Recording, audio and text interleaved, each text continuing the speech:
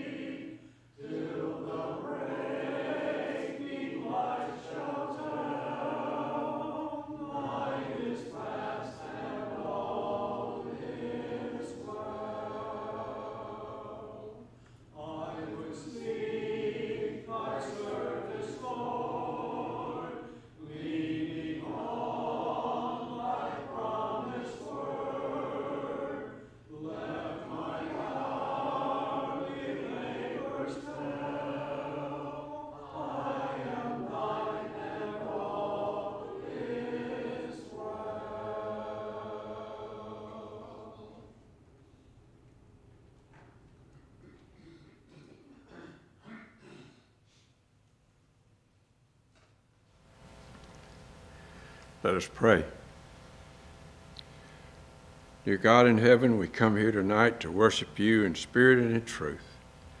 I beg forgiveness for my sin, whatever I may have sinned or done, not according to your will, that you would forgive me, that you might hear this prayer that I'm about to offer. Most of all, dear Lord, we thank you for Jesus Christ, his sacrifice, for the fact that we could be here tonight, brothers and sisters in Christ. We pray, Lord, that as we go into this lesson, we open our hearts, our minds, look to you for guidance. Help us to use all these things for the benefit and for the glory of your name. We pray for our brothers and sisters who are sick. Those who have had surgeries, we pray that your healing hand will be on all of them. We pray, Lord, a, a prayer of thanksgiving for those who have been made well. And we pray that you'll continue to watch over us. We pray, Lord, for this nation. We pray for those poor souls who are trying to come to this nation, who are coming here and suffering terrible, terrible agony and loss. We pray for guidance, Lord, another tragedy like those 50 people that died won't happen again. We pray for guidance, Lord, for this nation. We need leaders that comprehend the rule of law, most especially the, your rule of law, God, that would direct us to love you and love others. If the people in charge loved others, a lot of those people like that 50 wouldn't be dead and wouldn't die those terrible deaths. We pray for this nation to overcome all this, Lord. We pray for Christ guidance, Christ and the Holy Spirit to guide all of us in the church to help and aid any persons that we can. We pray, Lord, again for forgiveness of our sins. We thank you, Lord, for the bountiful way you provide for us. We pray that you would continue to do it in the future as you have in the past. Again, we ask for forgiveness of our sin as we forgive those who sin against us. We pray this prayer in your most holy name, Lord Jesus. Amen.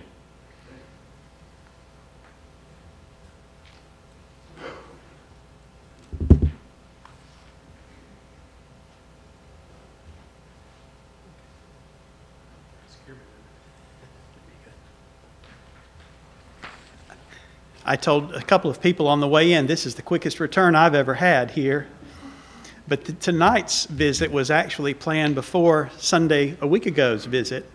And I was looking forward to tonight already, and so it was a double pleasure to be able to come and be with you a week ago Sunday.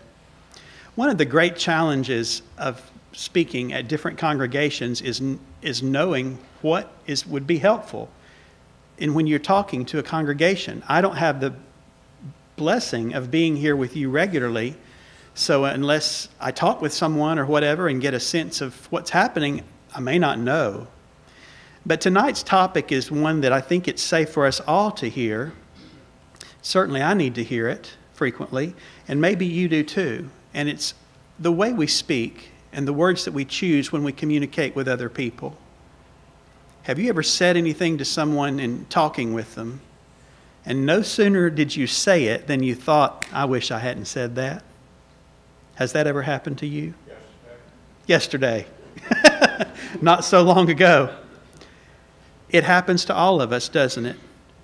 And it seems like we all can relate because we've all done it. You've maybe heard the analogy that trying to take words back once they are spoken is like trying to put toothpaste back in the tube. I started to bring a toothpaste tube, to, but I thought that might not go over well to squirt toothpaste. But imagine trying to put toothpaste back in a tube. That's how it is when trying to take words back. You can't do it. The words are spoken. I know someone who th- said one time, words are like things, they stick on your clothes. And she was so adamant and felt so strongly about it. She said, they stick on the furniture and all of that. Now, I'm sure she didn't believe that literally, but she would stop, she would say to someone, Stop it if they started saying something in her house, you know, negative about someone else or whatever, she didn't want any part of that because she knew the power of words. Down here in the South, we have an old adage that says, you can say anything you want to about a person as long as you end it by saying, bless their heart. But that doesn't, it's not true and it doesn't take back the words that have been said. You've heard the saying, Sticks and stones may break my bones, but words will never hurt me.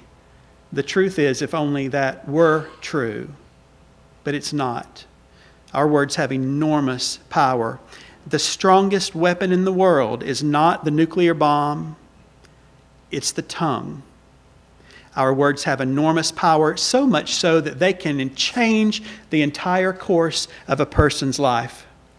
Children who grow up being continually praised, and I don't mean in a false way, but who continue hearing how valuable they are, are going to grow up into people who believe it. Compare that to those who are constantly being scolded. I believe that children grow up into who they are talked into being.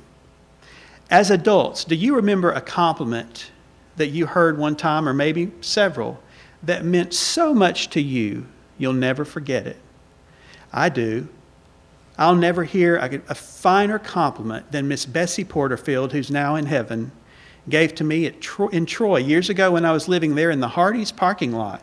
Her car was broken down, and in the course of our visit, she said something to me, and I don't know that I've ever told anybody, but I'll never forget it because I thought, I'll, wow, I'll never forget that. You probably have compliments that you've heard like that too, that have meant the world to you.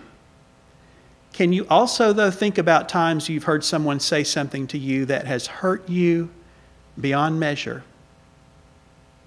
And you've never forgotten that either. You see, they're still there. All of those things that we've heard are seared in our memory. And so tonight, I want to suggest to you, if nothing more than as a reminder, that our words we use when we communicate to other people are serious business. And that there is supposed to be a difference in the way you and I communicate to other people as Christians compared to the way people who are not Christians communicate with other people. There's supposed to be a difference in the way we talk. Turn with me to Ephesians chapter uh, 4. Ephesians chapter 4.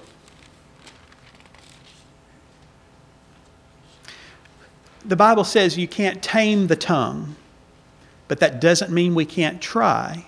Just as, as Christ says, be perfect, as your Father in heaven is perfect. Well, we know that's not possible, but that, that is our goal.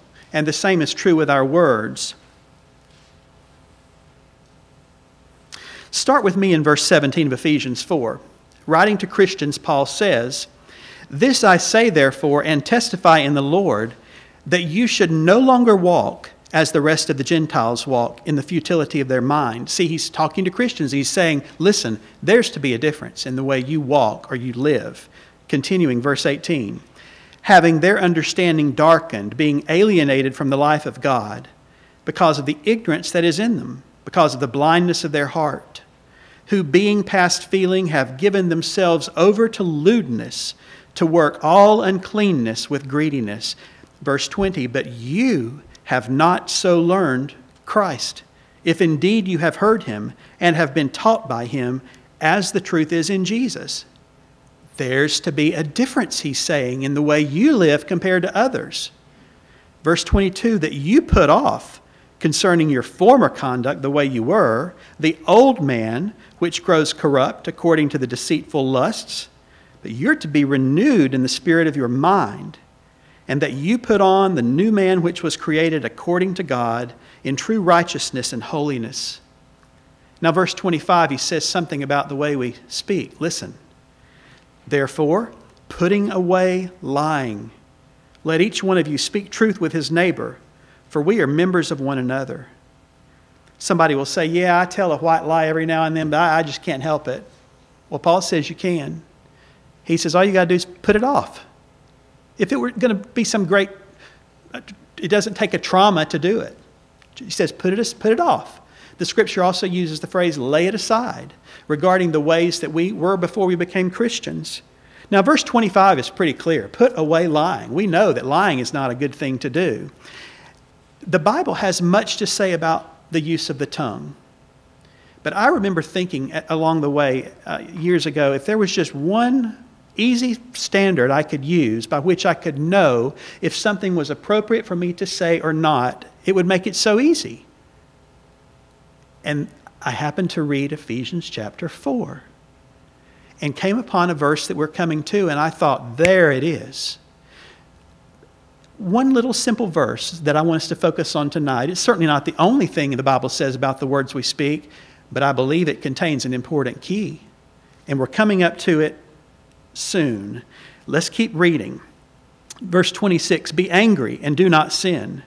Do not let the sun go down on your wrath, nor give place to the devil. Let him who stole steal no longer. That's what is that? An amber emergency alert. An officer has been shot. Mm. Let us pray. Father, we don't know the details of the alert that we've just received, but we know that you do. And we ask for your protection in this moment, wherever this has taken place, that you will be with this officer, be with those who will be caring for him or her. And we pray that his life may be spared and that all things be done according to your will. Please bless comfort to those who are finding out and hurting at this moment. We pray in your Son's name. Amen. Verse 28 Let him who stole steal no longer, but rather let him labor, working with his hands what is good, that he may have something to give to him who has need. And here we are. Look at verse 29. I'm going to show it to you on the PowerPoint here. Going the wrong way, Mark, sorry. Verse 29 Do not let any unwholesome talk come out of your mouths, but only what is helpful for building others up according to their needs, that it may benefit those who listen. Now, it's easy for us to read that, and we're going to stop right here and think, oh, that, that's, I've got it, let's go on. But did you notice all of the truths that are in this single verse? Let me suggest to you, first of all, what the scripture says we cannot say. Look at it again. Do not let any what? Unwholesome talk come out of your mouths. Now, we always want to see the Bible as positive. But notice it says, if you want your speech to be pleasing, then don't do this. Don't let any unwholesome talk come out of your mouths. Well, what is unwholesome talk? The New King James Version uses the word corrupt. In essence, it means that which is offensive or which is not helpful or even detrimental to someone's well being. What are some examples of unwholesome talk? Cursing, profanity, using the Lord's name in vain, and, and not just the obvious ones, but the little subtle words that we sometimes use that are plays on God's name. I won't quote them, but, but we don't, euphemisms, we don't need to be using them. Anything that is profane is defined as that which is against God. And when we use words like that, that is a symptom of our godlessness. Cursing certainly falls into the category of unwholesome talk, but so do suggestive things that we say that might have a little hidden meaning. It could be jokes that have a little racial undertone or a little sexual current to them. It can even be comments that we make that are suggestive in nature. Ridiculing someone, cutting them down, telling a joke that's at someone else's expense and the person we might even say, I didn't mean it that way, but you did. We did. We're not to be that way. Gossiping would fall into the category of unwholesome talk. That's not helpful. And then, of course, as we read earlier, deceiving or lying or telling untruths, those are all examples of unwholesome talk. And furthermore, did you notice it says, do not let any, none, you mean I can't ever? No. That's exactly what he's saying. Well, then, Lord, what can we say? But only it says what is helpful for building others up. You see, our speech either is going to build people up or it's going to tear them down. Is it possible not to do one or the other? I don't know but we want to be sure that our speech is helpful for building others up. It's a choice that you and I make. Have you ever heard someone talking to someone else and they just tear them apart with their words, just shred them? I have. Have you also heard someone build them up? My mom, for years, sold Mary Kay, and I've heard her say through the years, she's remembered Mary Kay would always say, Speak to everyone as if they had a sign on them that said, Make me feel special. You see, but only what is helpful for building others up. What kind of words build others up? Compliments that we offer, as long as they're sincere and not fake. You see, there's good to be found in all people. Now, you do have to look harder in some than others. I've got a student right now that is challenging, but I found in my days when I get so tempted and short, you know, I'll just sit back and laugh and try to find something positive, you know, and I just acknowledge it, and that has helped me because there is good to be found in everyone. It's how we look at the glass. Is it half empty or is it half full? I'll never forget my uh, band director in college. Years ago, I ran into him, and he was the kind of person that everyone who, who he was around, they were the most important person, the best person that's ever lived. And he would brag about everybody to everybody else. One day I ran into him at the hardware store in Troy, and I said, Dr. Long, it's so good to see you. He said, It's always good to see you, Art. Well, that went straight to my heart, and I thought, wow, it's always good to see me? And I've never forgotten that. That little word, always. He may have told everybody else that, but he sure made me feel special. He was using words that were helpful for building me up. Offer people a listening ear. Sometimes that's the best way we can help build others up. It's not always even talking. And of course, the best way to offer words that are helpful for building others up is to talk to them about Jesus Teach them the most important thing of all. Don't let any unwholesome talk come out of your mouths, but only what is helpful for building. Did you notice that? Don't let any of this, but only this. In other words, every time you and I open our mouth, it needs to be something that's helpful for building someone up. These are the people that you might hear it said about I've never heard that person say anything bad about anybody. Because they're always, and of course I know nobody's perfect, but by and large, these are people who are always using language that is helpful for building others up. That's what we're talking about. Now imagine with me what a radical, radical concept this is.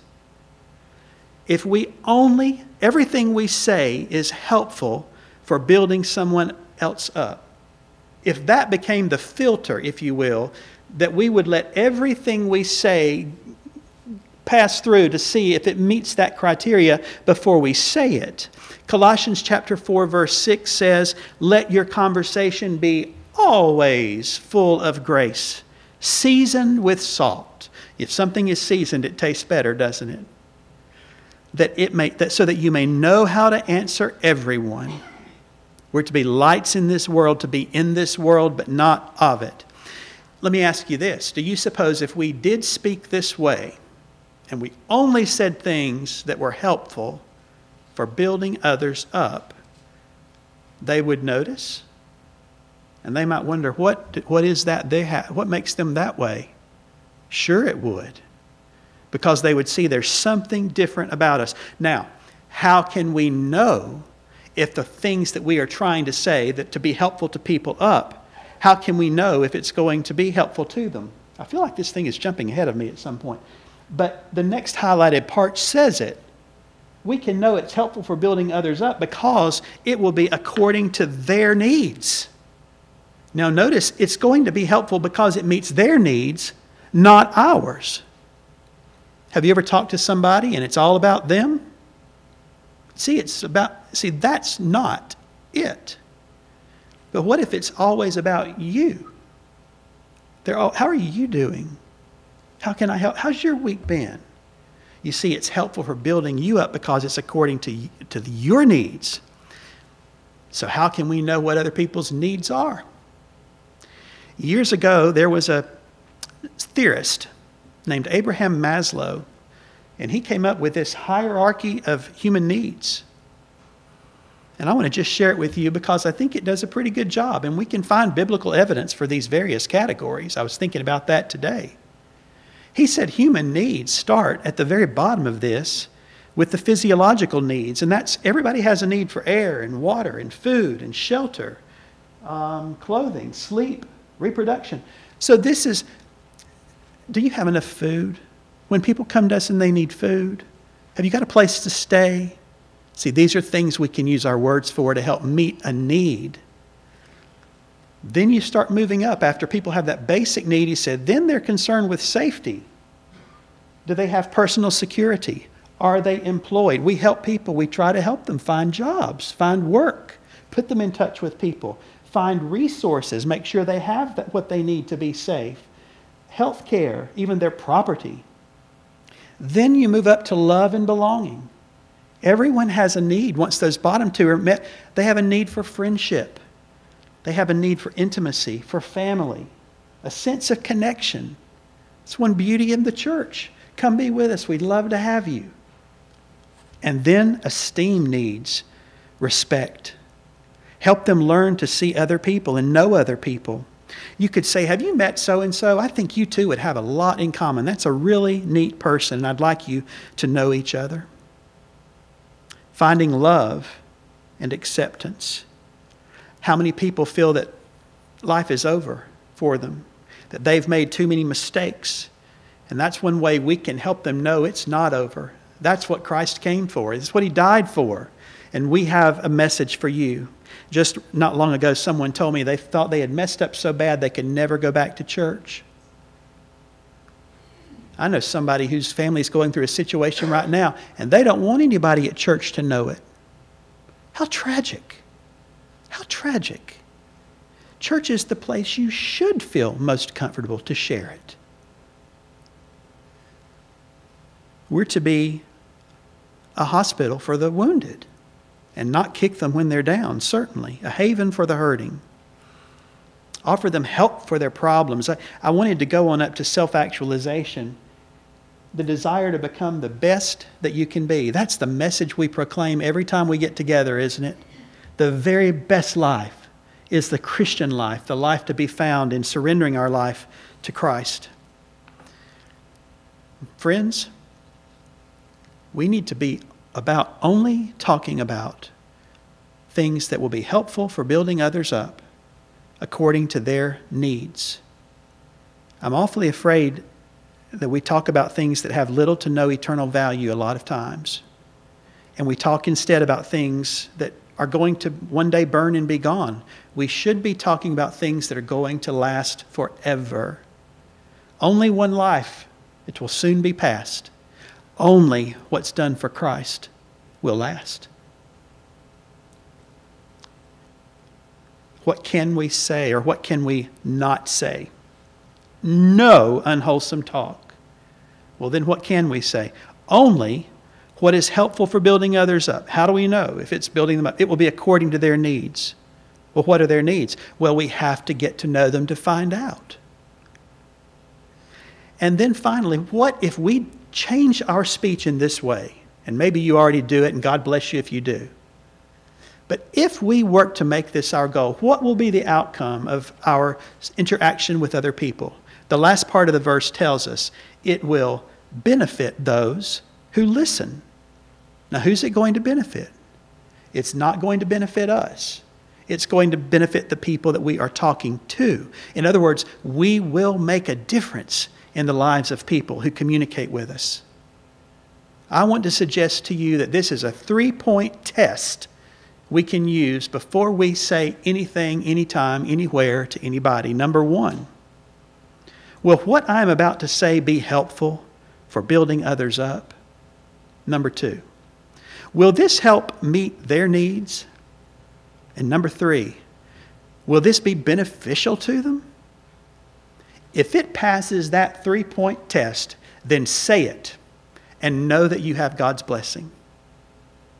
If it does not, then refrain from saying it. And if you are not sure, when in doubt, speak not. It's just that simple, and it's just that difficult. We've got just a few minutes left here. This was, this was so transforming to me, and I, I hope it will be for you to think about does our speech do this for other people? There's a, a neat little book. I, I didn't even plan to say this, but it's called Don't Sweat the Small Stuff. And one of the chapters in there says when you talk to other people, pretend that everyone you're talking to, every, pretend everyone you're talking to has something to teach you. And that has been very helpful too. When I'm thinking, what in the world is this? Then you think, what am I learning from this? And that can bring patience too. Let me suggest to you finally some practical tips here. Number one, about our speech. We need to be slow to speak. Ephesians 5, verse 2. Ecclesiastes, rather. I, I miswrote the scripture passage. Ecclesiastes 5, verse 2. It says, Do not be quick with your mouth. Do not be hasty in your heart to utter anything before God. Now, listen to this God is in heaven, and you are on earth, so let your words be few. Do you realize as Christians that we are to be people of few words? It's ironic, isn't it? We have the message that everybody needs to hear, and yet, people who talk all the time, what do we know about them? Nobody listens, they tune it out. But people that don't talk that much, too much, when they speak, you listen. The Bible says we don't need to be too hasty about this. God is in heaven, you're on earth. Let your words be few. A statistic says that the average person, the average man, speaks 20,000 words each day. In one year, that's enough words to fill up 66 books that are 800 pages each. We're talking too much. Years ago, Julie Andrews' husband, I heard him interviewed on Larry King Live, and he made this comment and it stuck too. He said, I never learn anything new when I'm the one doing the talking. Isn't that a good point? All we do when we talk is share what we know. We have to listen to learn. James 1, verse 19 says, Everyone should be quick to listen, but slow to speak and slow to become angry. You've heard it said we have two ears and one mouth for a reason. And another suggestion regarding this be slow to speak we need to help others and not encourage them when they start to catch themselves and refrain from saying something. It's easy to say, oh, go, go, go on and say it. You've started. But we need to be the ones to say, it's okay. If you don't need to share that, I understand. Don't tempt them and lead them to sin in their words. Be slow to speak. Number two, we need to be mindful of speaking simply. Jesus did. Jesus talked about the birds and the air and the flowers and the trees. Matthew 6, the lilies of the field, the grass of the field. You see, he met people where they were. He wasn't trying to impress them with his big words. And we should be the same way, not trying to talk over people's heads to impress them. I remember a famous preacher I heard one time being heard about. He was asked to pray, and you know what he did? It was before a meal, and he's, he led this prayer God is great. God is good. Let us thank Him for He led that children's prayer, and that was enough. We can be simple in what we say. James 5, verse 12, supports that idea when it says, Above all, my brothers, do not swear, not by heaven or by earth or by anything else. Let your yes be yes, and your no, no, or you will be condemned. You see, we shouldn't have to qualify and, and yes, and you can really believe me when I say this too. I'm, I'm telling you the truth. If we have to say that, we've messed up somewhere along the way, right? Because we should be able to say yes, and people know that we mean it because we speak simply. And finally, here, we need to keep our heart clean when it comes to our words. That may seem like an unusual analogy, but you know the Bible does say there's a connection. Matthew chapter 12, beginning in verse 34, Jesus says, Out of the overflow of the heart, the mouth speaks. The good man brings good things out of the good stored up in him. And the evil man brings evil things out of the evil stored up in him. So there is a connection between what you hear a person say and the condition of their heart. You want to know what kind of heart they have? Listen to their words. We need to make sure we guard our hearts because our hearts or our words reveal what's in our hearts. Our prayer should be like we read in Psalm 19, verse 14 May the words of my mouth and what? The meditation of my heart be acceptable, pleasing in your sight, O Lord, my rock and my redeemer. This topic is one I, I, need, I know I need to hear. I think we all do from time to time.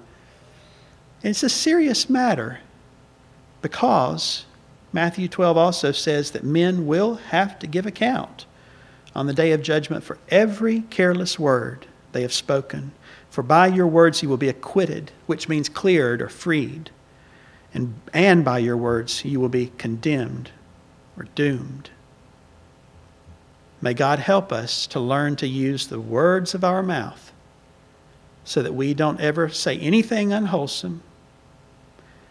We only say those things that are helpful for building others up according to their needs so that they will be benefited by having talked with us. Let us pray. Father, we're so thankful for the Bible and the guidance that you give us through it.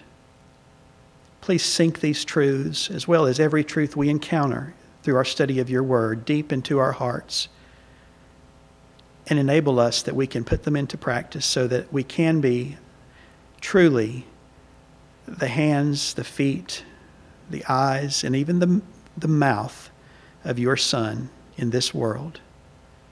In his name we pray. Amen.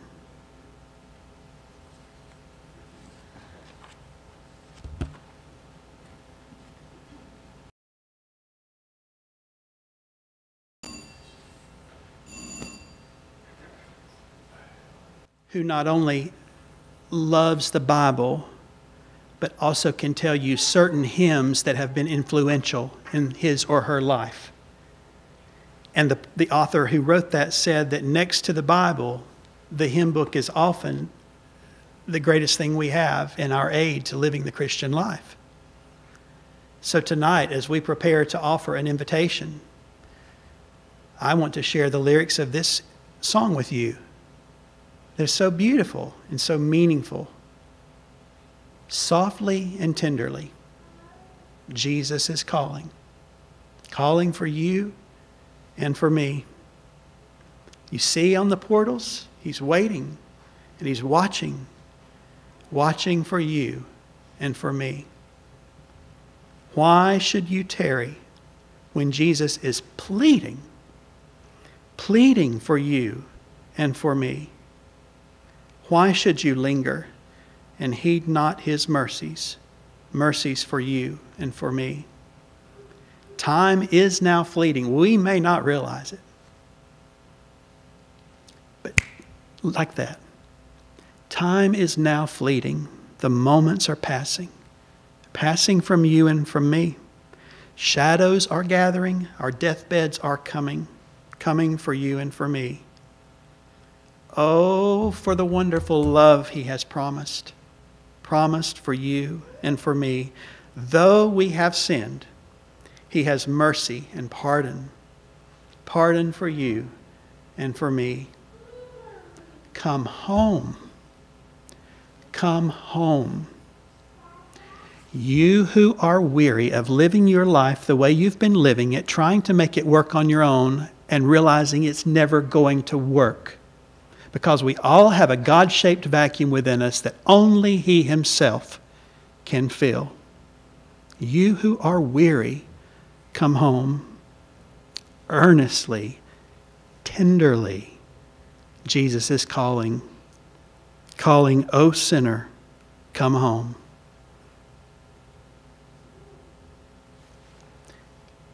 Is that what you need to do? Maybe so. If you've never done that, you don't know what real life is. I would suggest you haven't even really started living. The only way to avoid getting to the end of your life and looking back with regret is having given your life to the Lord as soon as you're in your life as you possibly could. And we want to encourage you to do that if you have not. Most in here have. And then the question is are you still dead to yourself?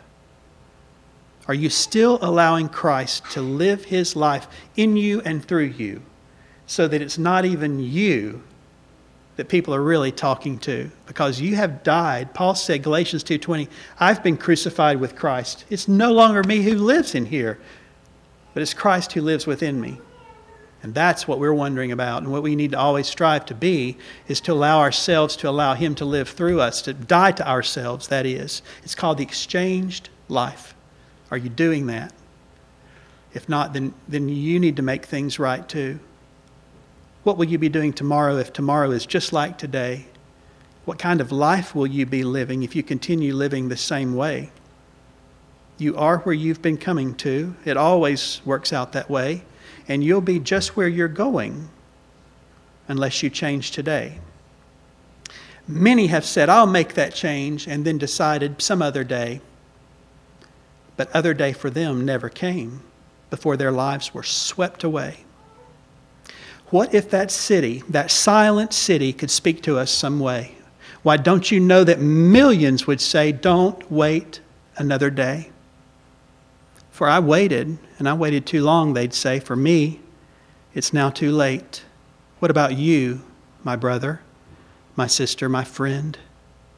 Why on earth do you wait? There'll probably be a, never be a more convenient time than now in all of your life as long as you live, and yet you wait somehow. Make the wisest choice that leads to life. Don't wait.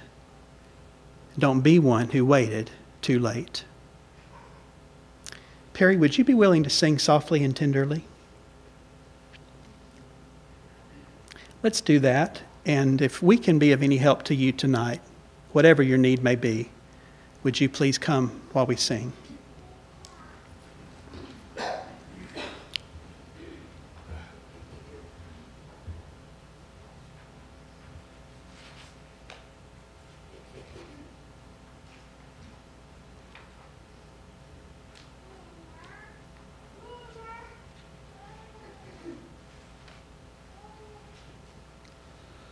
Softly and tenderly, Jesus is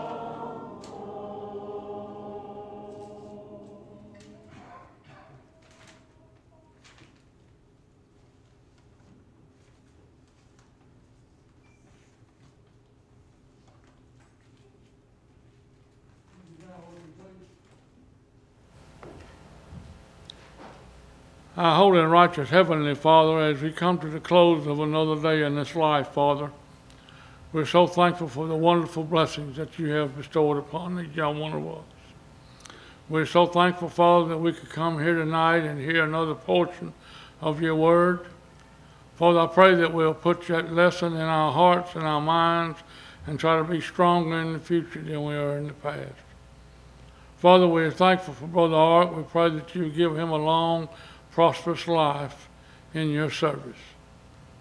Father, we're so thankful for this congregation here. We're so thankful for the blessings that they have bestowed over the years. We're thankful for Brother Mark. We pray that you will be with the leadership here. They will continue to do what they're supposed to do. Also, Father, we're thankful for our eldership, and I'm thankful for our leadership. We're thankful for our children. We pray that we'll always try to set the proper example for them. We pray now, Father, that you would go with us throughout this day and throughout the further walks of life. In Christ's name we pray. Amen.